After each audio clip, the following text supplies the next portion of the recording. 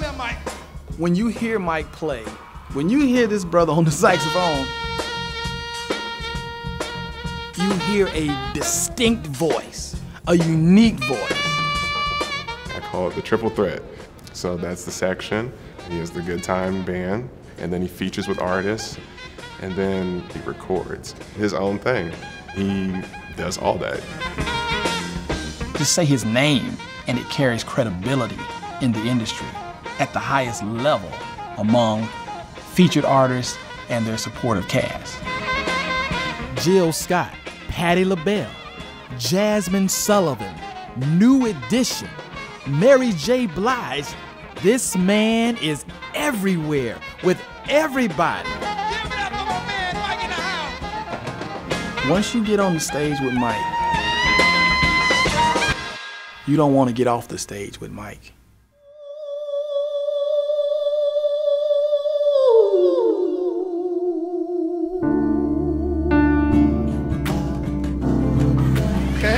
The Mississippi Mass Choir. All right.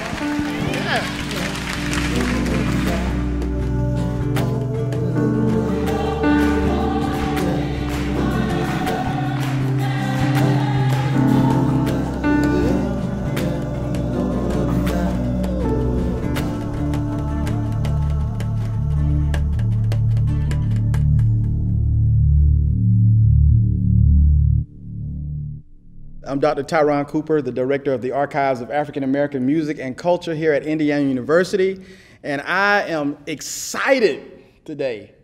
I got my longtime brother here, longtime friend, Mr. Michael Burton. What's up, brother? Man, Yeah, let me just say thank you, brother, for for uh, having me. My years at IU were some of the best times of my life, man, and uh, just thank you. I want to just, you know, kind of reminisce a little bit before we really get into, you know, kind of what you're doing currently. Okay, so the, the space that I'm sitting in right now is the grand hall of the Neal-Marshall Black Culture Center. You said something that was really interesting about the idea of, you know, kind of uh, acknowledging and engaging a diverse setting, uh, being inclusive in a sense. Right. While it's grounded in this framework of blackness, man, this was a really multicultural experience that we had right here in this room. Yes, sir. Well, first of all, you know, uh, the, the, the School of Music was amazing. You know, very uh, very hard at times. You know, um, just trying trying to get through it.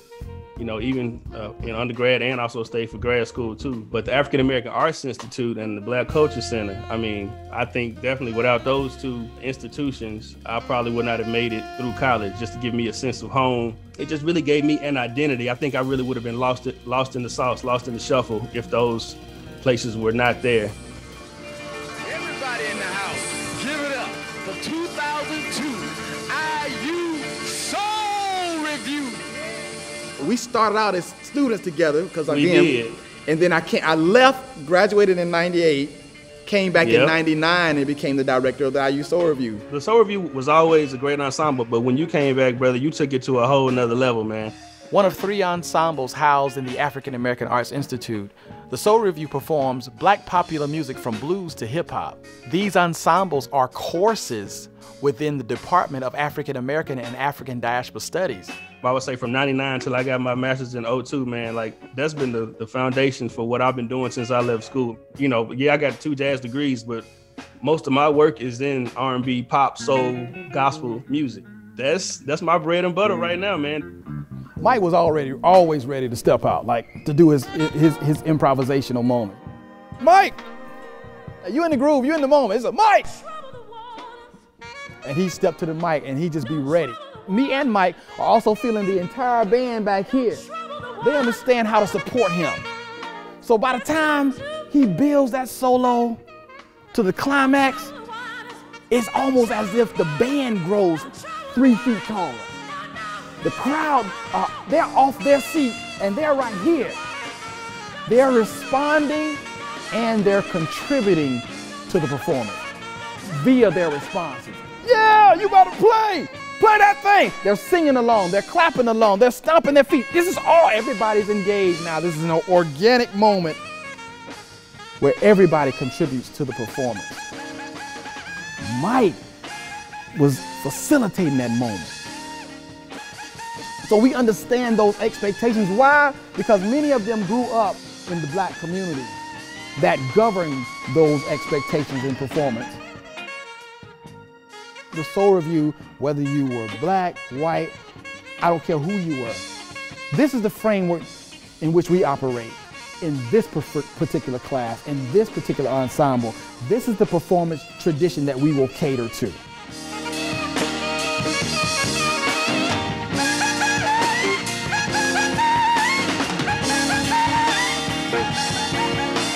All of this is centered in this black performance tradition. That's what Mike was doing when he was a student here. That's what Mike continues to do as a professional musician. When I think about our time here as students, you know, we're both in the jazz studies department, uh, under studying under under the great David Baker, Professor David Baker. Yes, sir. I'll never forget him. I, I heard you say on an interview a while ago that you still working on some of the things that he was teaching us. And I, I'm telling you, I think this is he had to have known that this was going to be a life journey for us. Yes, he and he would say, you know, take this stuff, but it's like talking. It's like you know, you you you you learn these tools here, but then when you get off in the real world, you just can pull from it. Like if I'm talking to you and I'm just carrying a conversation, I have the vocabulary to, to pick words. I don't even know what I'm gonna say next, but it's just coming out of my mouth. You know what I'm saying? And that's how he wanted us to, you know, take his uh his teachings and, and you know, and uh, apply it to our playing. You know, so he was he he he was the greatest man. We were were taught that we didn't do anything halfway. And, you know, Mr. Brown would tell us in his marvelous homespun way, he would say, think this way. You might be out talented, but you're never going to be outworked. Uh, you know I have to come with this one. That group is who? Legacy, yes, man. That's me, you, uh, Dino Sanders, and Lance Tober. This was at Scotty's, man. You remember that? Scotty's Brew House. Yep, they had just opened. Yeah, man. Yep, they just opened. And, and so at that time, we had Bear's Place, which was like, you know, the, the, traditional jazz hub in a sense, you know, if you want to call it that. And then we started to make this place a scene. You remember? Yeah, we did. We we are, are really the ones that made that a, a, a, spot. It was once a week. I don't know if it was every Thursday or Tuesday or something, but but folks was showing up.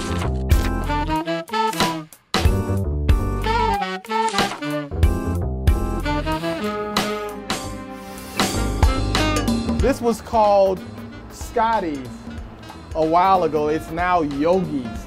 This was a jumping spot. Thursday nights at Scotty's was the joint. You would see us from the street and you see all the excitement in Scotty's and it would just drive people to come see our performance. So for us to be doing what we were doing, which was really a, a gumbo, a fusion of jazz, of course, but also our gospel roots and R&B, soul, poppy type of stuff, you know, we were really ahead of our time for, for, for back in those days, you know. I just think it was a really fruitful time for all of us. I think it was a, it was like a really that pivotal moment when we started getting these aha moments. Didn't always necessarily know how to deal with it. Like you said, we were all, we were real still kids, man. We were just trying to figure out what we were doing, man. You know. We were growing up together here at Indiana University. And so this was really a definitive time for us that would really propel us into manhood. So when I think about the times that we were performing together back in the day, it brings back memories of growing up, growing up away from home, but at the same time carrying that cultural memory of home with us in this Indiana space. I want people to understand that you didn't just arrive here. Right. That your life has been steeped in artistic expression really from a from a child. You know, right. um, you grew up in in Mississippi. Jackson, Mississippi. Yes. Uh, excuse me, brother Frank. Excuse me. Huh? Excuse me, brother Frank. We love gospel music. Yeah, we sure do. Y'all love gospel music? Yeah. Okay. And we love the Mississippi Mass Choir. All right. Yeah. But we really love gospel rap. Yeah, you sure do. Wait a minute, wait a minute. You really love gospel rap? Yeah, you know gospel rap like Preachers in Disguise, yeah. Mikey. Yeah. Oh yeah, I know those guys. So what we want to know is, how come the Mississippi Mass Choir doesn't rap? Yeah, just why? Why? Believe it or not, this question was asked earlier And we, was, we, we weren't ready at that time. We ready this time. My mom singing with the Mississippi Mass back in the day uh, was a major inf- influence on me as a child. I mean, I was probably 10, 11 years old.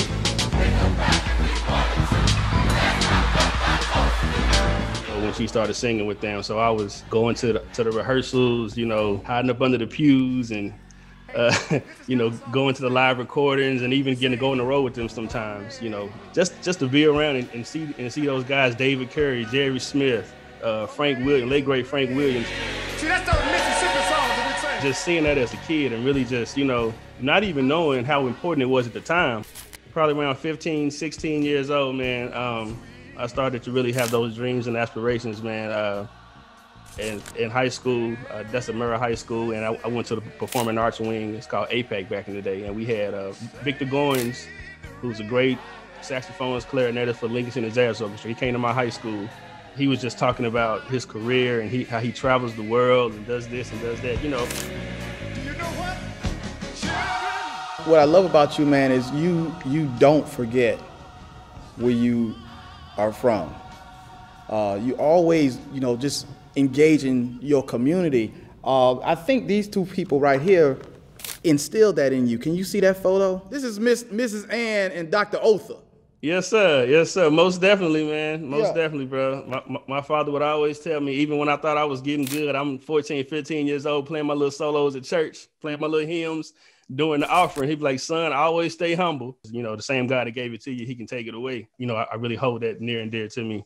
After my junior year of high school, my parents and my church, they sent me up to Boston for the summer to Berklee.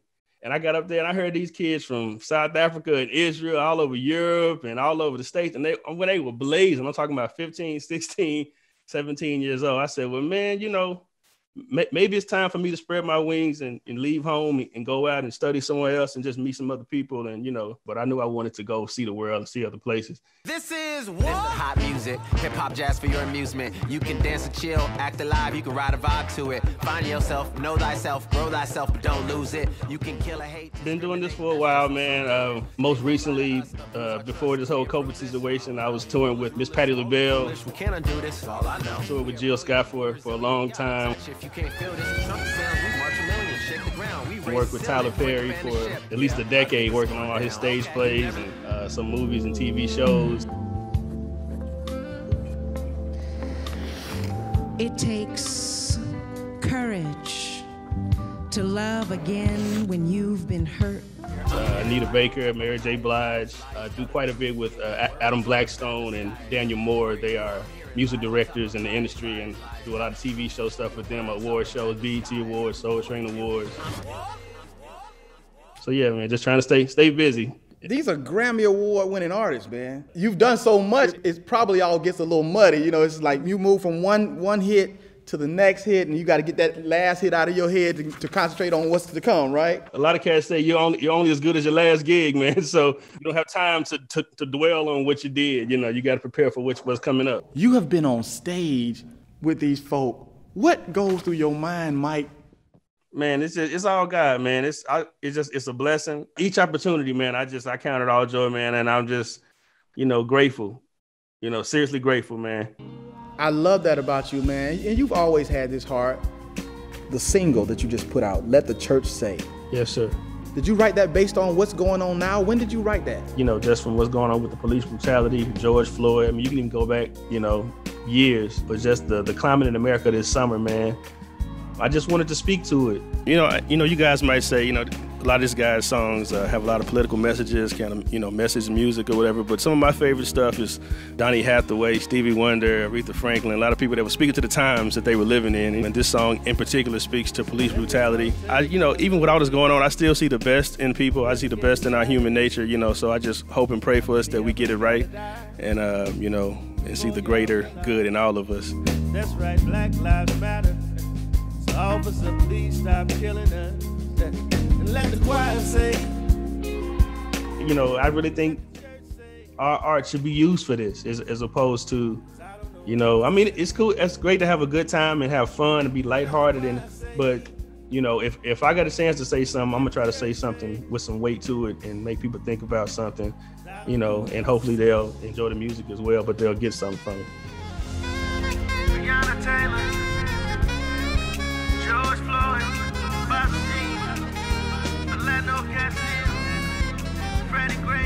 He's doing that at the highest level in terms of this the commercialization of music performance uh, while at the same time maintaining his link to the community. That's very difficult to do.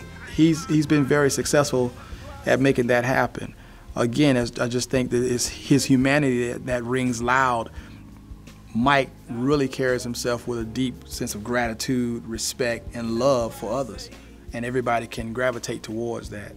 So I would I would have my students take away the grit that Mike uh, exemplifies, the sincerity, uh, the courage to step out and try new things to to broaden oneself. I think there's so many lessons one of my students, or all of my students, I would say, could learn uh, from observing Mike's trajectory uh, in the industry.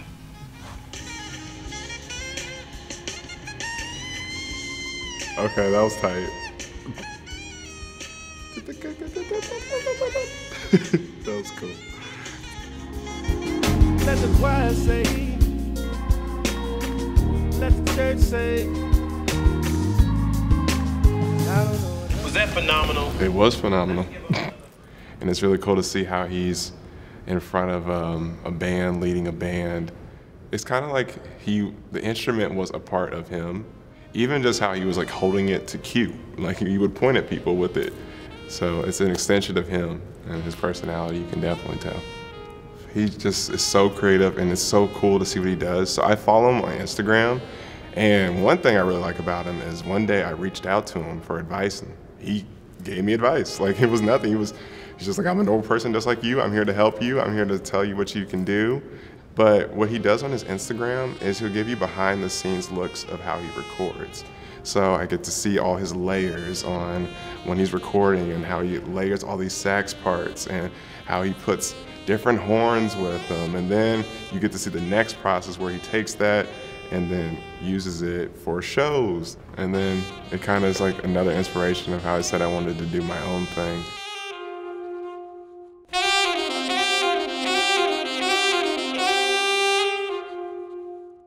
It shows that you should use your God given talents to heal the world, especially with what's going on right now. I think that's what he would want. I'm pretty sure that's what he would want.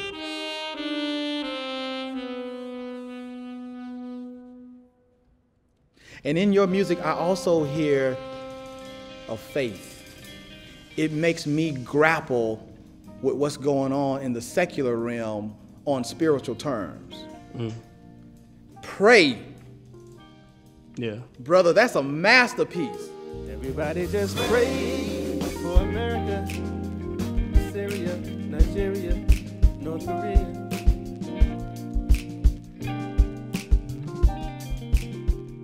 Man, you know, I think really the the greatest gift I've gotten from being being a musician is just being able to travel the world, meet people from all walks of life, man, from different countries, different faiths, religions. Sit down and break bread with these people, man. Have a drink with these people, whatever, and just see that we all just people, man. Yeah, I think you again you've been you've been raised to do that, right? Yeah.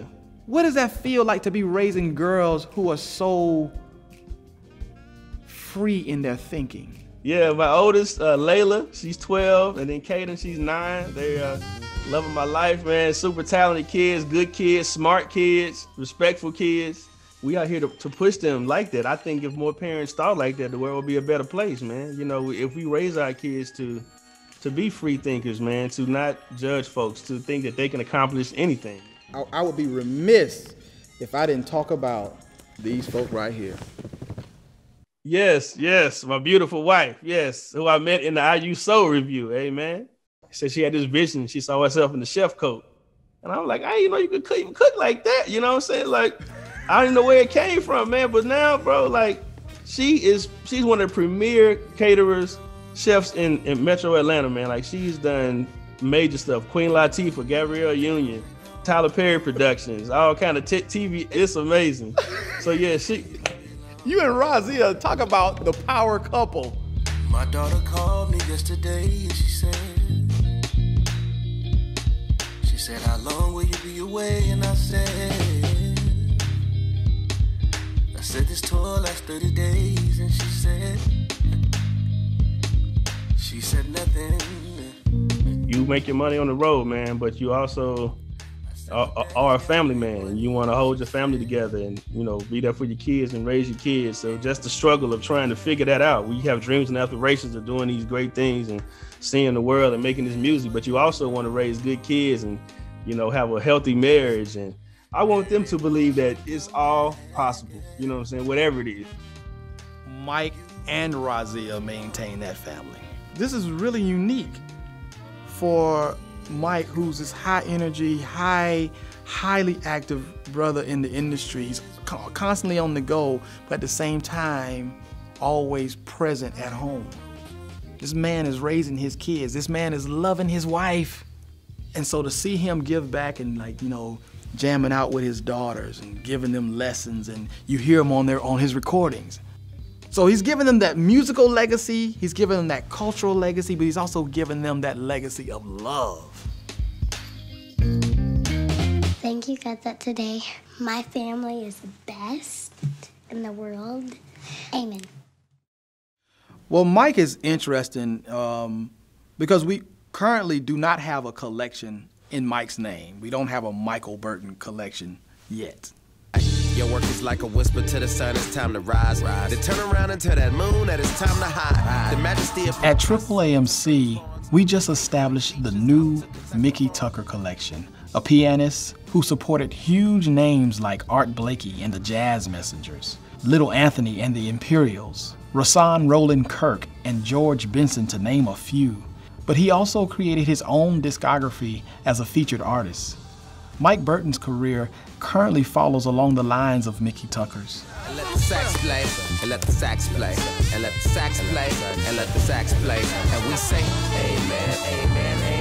We say, Amen, Amen, Amen. And let the sax play, and let the sax play. And unboxing Mickey's materials makes me wonder with Mike currently operating in the digital age, how is he preserving his cultural materials? Are they physical copies of scores like Mickey's, or might they be mostly digital files of his musical charts, photos, videos? Instead of physical letters, would he save emails?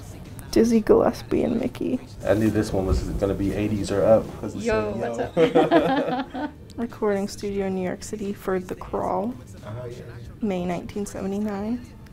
The letters, press releases, the kinds of things that can so easily be sent through an email nowadays, which you wouldn't even think to save. I don't think it's inherently less valuable. I just think that a lot of it's going to get lost when we get collections in the future where an artist didn't think to save the emails they were sending back and forth. For, from our perspective, I think it's going to be important for us to educate potential donors about what is what what they should be saving because you're right. So it's digital born you know but it's still valuable. And also the archives can help bring some significance to the clutter or these items that we're trying to get at. It's important that we make that transition in the digital realm. Uh, what would a collection look like in 20 years? So mike is the guy that we are um, really kind of tracking if you would. A featured artist himself a producer this is a legacy in the making this is exciting for me to watch him, to observe all, all of the moves that he's making for himself, for his family, for his community. Because the messages in his music, the sounds, the grooves in his music, these are global. He is something special and unique in this industry.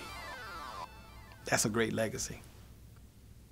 I want to just, just elevate you in our own way. Razia said hello. Put, come here, Razia. You want to come in and just wave at the at the people? Razia. Oh Lord. he said, "Oh Lord." I love you, girl. I don't never get to talk to you. Thank you for all that you did for both of us. The education is real. All that you did for black music. So I'm thankful. Thank you so much. Man, we got to keep in touch, man. But real talk, when when, when all this crazy stuff is done, we we gonna come back up to uh, to Indiana, man, and, and, and bring the girls down to Bloomington, man, so they can see where mom and daddy met and hang out, and, and y'all can give them that full scholarship, amen. Hey, man, come on, man. Let's do it. Mike, now my last question to you is what would you tell, what would this Mike Burton tell 17, 18 year old Mike Burton? Wow, great question. Um, I would tell him that it's gonna be all right. You know, don't don't worry about um, tomorrow. Like just keep doing what you're doing. You know, block out the naysayers. Uh, stay positive, man.